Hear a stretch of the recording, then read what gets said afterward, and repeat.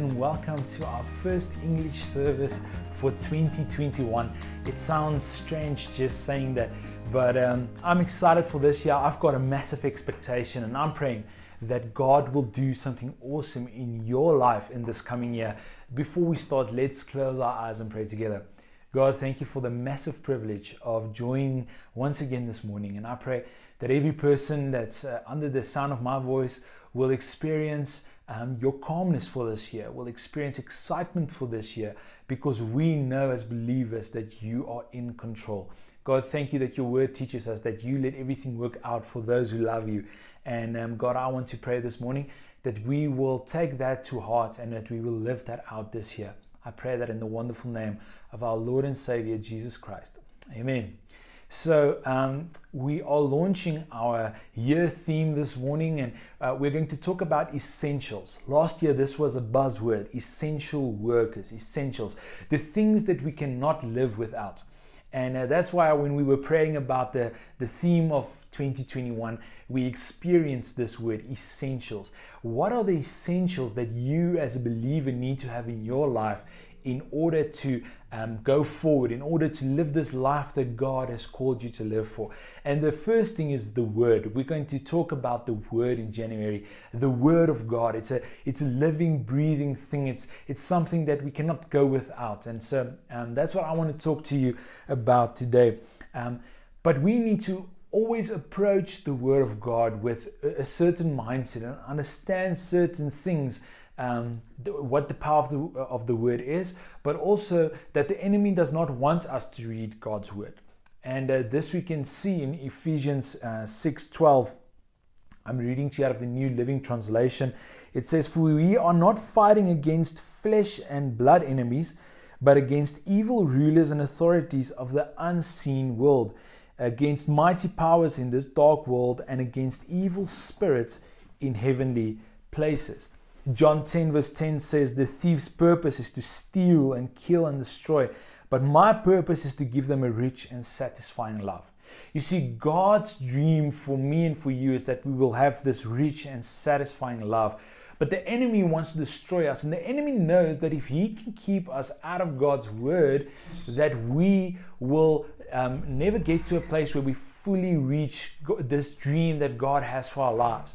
And so um, while I was uh, reading these two uh, uh pieces of scripture in Ephesians 6:12 and John 10:10, um, I experienced uh, uh this uh, symbolism that I, that I was reminded of in the past holiday. We went to KZN and we had a, such an amazing time. We went to this one place called uh, Gorge.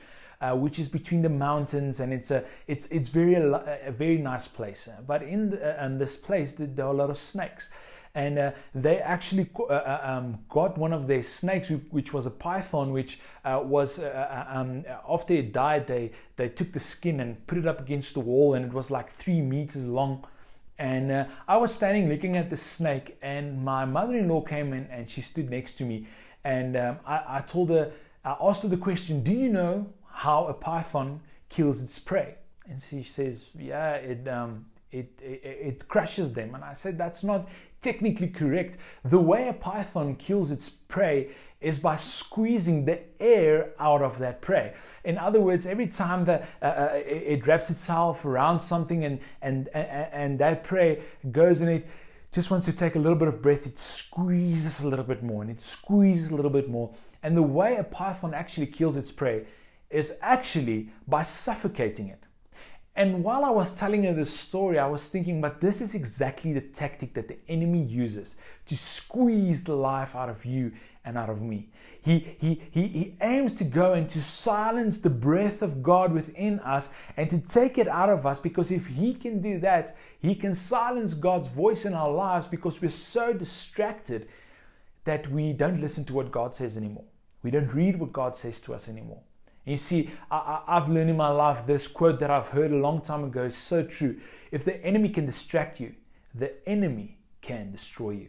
You see, and that, that is so important for me and you as believers to realize. Because the first thing, if you want to know, I've written down three things to identify if you want to know today if the, if the, if the enemy is squeezing the spiritual life out of you, these three things will, will, will definitely be markers to tell you that it, that it is so. The first thing is that you're not getting into the Word of God. You you you constantly have uh, um, uh, uh reasons why I'm too tired or I overslept or and it's this constant thing of not spending time in God's Word. And before you know it, you, you you don't have any more you, you, your day is over you didn't spend time with god you didn't talk to god there's this constant reason why you're not talking to god not reading the bible not spending time in his word you see, the, the thing about God's word is, is He's speaking to us through His word.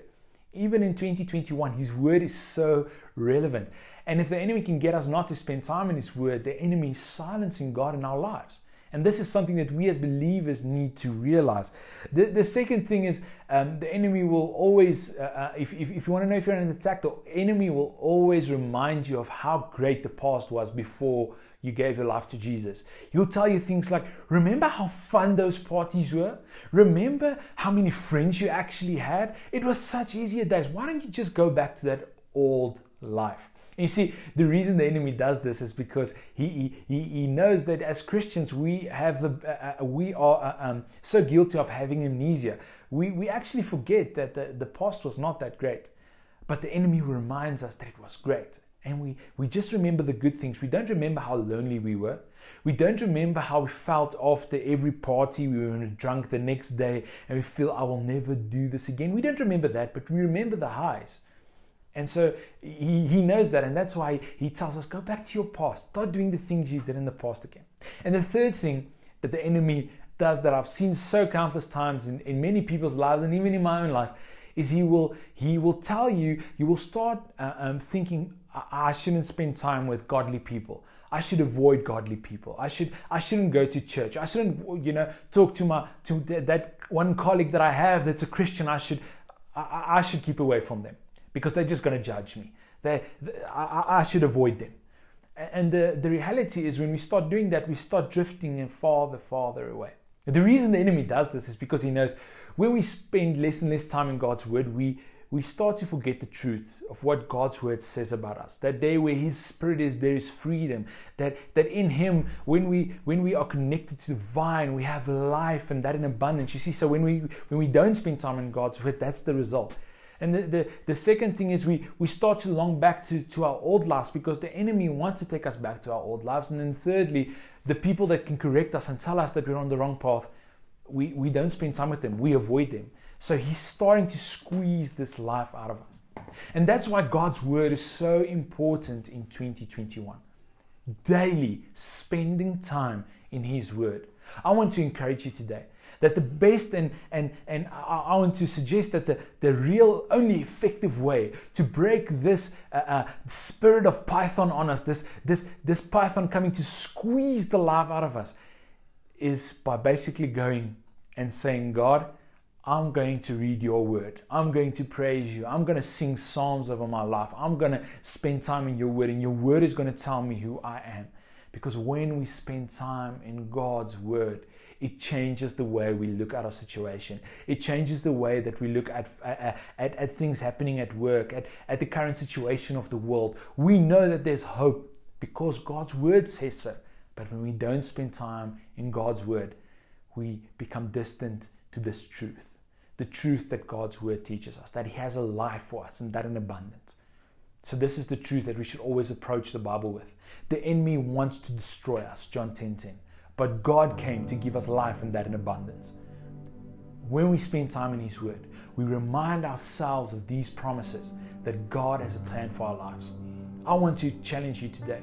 After this message, go to your Bible, open it up, and start reading. If you don't know where to read, start with the gospel. Start with Mark and read the story of Jesus and what Jesus did for us on the cross. And when you're finished with, with, with Mark, maybe go to Acts and read something in Acts and, and just, you know, a journey through through the Bible and ask God to speak to you. The YouVersion Bible app is such a great tool to help you with this. Spend time in God's Word. Don't make it a New Year's resolution Make it a life resolution, something that you commit yourself to. I want to hear what God says to me every single day. Let's pray together. God, thank you this morning that every single person listening to this message that you have a plan for them, you have a dream for them. Lord, and you're not finished with them yet. And I want to pray, Lord, that this year that they will experience this by reading your word, by reading the truths that you dream about them, that you want to share with them. Thank you, God that this day I can come and pray that they will experience the truth of your word. I want to pray for every single person listening to my voice right now that they will have a hunger that they've never experienced before for your word, that they will so long to know you more, to know what you say about them. Lord, so that the, the, this, this python that's coming to squeeze the life out of us will lose all its power because your word teaches that you have overcome him. You have overcome the enemy and you have shown him who is the true God, who's the one who's really in control. But only by spending time in your word can we realize this. Thank you, God, that you will um, show this to every single person that's listening to this message. I pray for this hunger for your word, and I pray that in the wonderful name of Jesus Christ. Amen. Thank you for joining us today. We will see you again next week here on uh, Corpus Online. Bless you.